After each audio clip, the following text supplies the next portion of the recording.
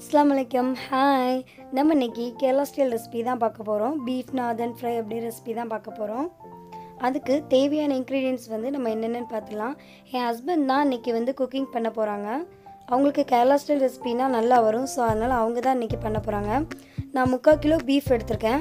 அப்புறம் வந்து கோகோனட்டை வந்து சில்லு தேங்காய் வந்து சில்லு சில்லாக கட் பண்ணி வச்சுருக்கேன். அப்புறம் சின்ன வெங்காயம் இஞ்சி பூண்டை தட்டி எடுத்து வச்சுருக்கேன். அப்புறம் பச்சை மிளகாய் கருவேப்பிலை வெங்காயம் அதுக்கப்புறம் ஒரு தக்காளி பேஸ்ட் பண்ணி எடுத்து வச்சுருக்கேன். பவுடர்ஸில் வந்து மல்லிப்பொடி மிளகு பொடி வத்தப்பொடி கரம் மசாலா மஞ்சள் பொடி. அப்புறம் வந்து கொஞ்சம் பெருஞ்சீரகமும் தேவையான அளவு உப்பு அப்புறம் தாளிக்கிறதுக்காக எண்ணெய். இப்போ வந்து பீஃபை வந்து கொஞ்ச நேரம் நம்ம மேரினேட் பண்ணணும். ஸோ அதனால் கொஞ்சோண்டு மஞ்சள் பொடி சேர்த்துக்கோங்க. அப்புறம் வந்து மிளகு பொடி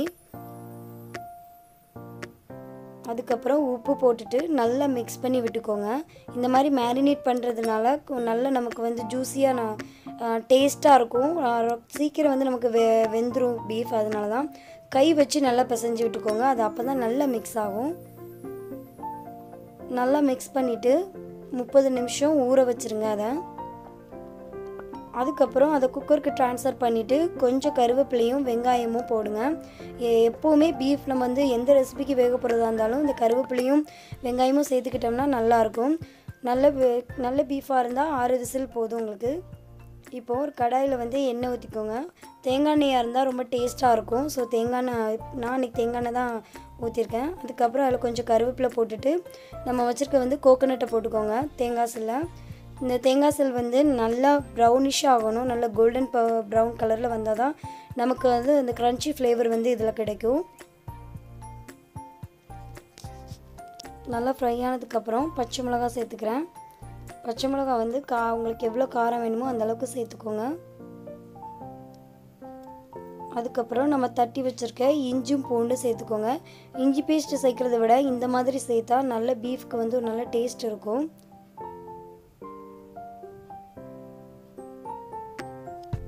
ஃபுல் குக்கிங்கே என் ஹஸ்பண்ட் தான் பண்ணியிருக்காங்க. நான் எதுவுமே போடல. உப்பு டேஸ்ட்டு கூட நான் எதுவுமே போடல. எல்லாமே அவங்க தான் போட்டிருக்காங்க. இது நல்லா ஃப்ரை ஆனதுக்கப்புறம் சின்ன வெங்காயம் சேர்த்துக்கோங்க. சின்ன வெங்காயம் உங்களுக்கு எவ்வளோ போடணுமோ அவ்வளோ போட்டுக்கோங்க. ஏன்னா அது வந்து நல்ல டேஸ்ட் இருக்கும். இந்த பீஃப் நாதன் ஃப்ரைக்கு வந்து அதுதான் ஒரு நல்ல டேஸ்ட் இருக்கும். வெங்காயம் நல்லா வதங்கினதுக்கப்புறம் நம்ம வச்சுருக்க பல்லாரியும் சேர்த்துக்கோங்க. வெங்காயம் வந்து பல்லாரி வதங்குறதுக்கு வந்து கொஞ்சம் உப்பு போட்டிங்கன்னா சீக்கிரம் வதங்கிடும் பட் சின்ன வெங்காயத்துக்கு வந்து போடாதீங்க. ஏன்னா அது நல்ல எண்ணெயில் வதங்குறது தான் டேஸ்ட்டே நல்லா ஃப்ரை பண்ணி விட்டுக்கோங்க. வெங்காயம் வந்து கண்ணாடி ஆகிறதட்டியும். அதுக்கப்புறம் நம்ம வச்சுருக்க பவுடர்ஸ் எல்லாம் சேர்த்துக்கோங்க. மஞ்சள் பொடி கால் டீஸ்பூன் அப்புறம் வத்தப்பொடி ஒரு ஒரு டேபிள் ஸ்பூன் அதுக்கப்புறம் மிளகு பொடி வந்து நிறைய சேர்த்துக்கோங்க. ஏன்னா இது பீஃபுக்கு வந்து எப்போவுமே மிளகு பொடி வந்து நிறைய இருக்கணும். அப்புறம் கரம் மசாலா. கரம் மசாலா வந்து ஒரு ஒரு டீஸ்பூன் இல்லைன்னா ரெண்டு டீஸ்பூன் சேர்த்துக்கோங்க. நீங்கள் பீஃப் எடுத்துருக்கிற அளவுக்கு நீங்கள் வந்து சேர்த்துக்கோங்க. அதுக்கப்புறம் மல்லிப்பொடி வந்து ரெண்டரை டேபிள் ஸ்பூன் நான் அன்றைக்கி சேர்த்துருக்கேன். மிளகு பொடி வந்து நம்ம கொஞ்சம் கொஞ்சமாக அப்பப்போ போடணும். ஸோ இதில் வந்து க ஒரு டேபிள் ஸ்பூன் மட்டும் போட்டுக்கோங்க. இப்போ இதை நல்லா ஃப்ரை பண்ணி எடுத்துக்கோங்க.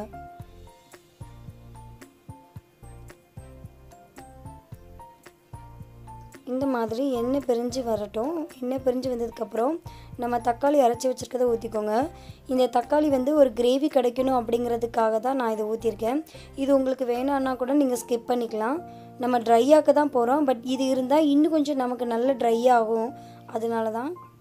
அதுக்கப்புறம் நம்ம வேக வச்சு வச்சுருக்கிற பீஃபை வந்து அந்த தண்ணியோடு வந்து சேர்த்துக்கோங்க.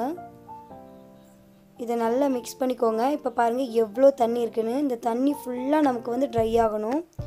இந்த டைமில் வந்து உப்பு இல்லை அப்படின்னா செக் பண்ணிவிட்டு கொஞ்சம் போட்டுக்கோங்க. எனக்கு வந்து உப்பு கம்மியாக இருந்துச்சு. ஸோ அதனால் நான் போட்டுக்கிட்டேன். அதான் என் ஹஸ்பண்ட் வந்து போட்டுக்கிட்டாங்க.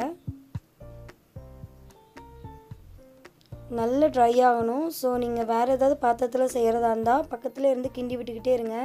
இப்போ பாருங்கள் நமக்கு எவ்வளோ ட்ரை ஆகிட்டுன்னு இப்போ வந்து கொஞ்சம் பெருஞ்சீரகம் ஆட் பண்ணிக்கோங்க.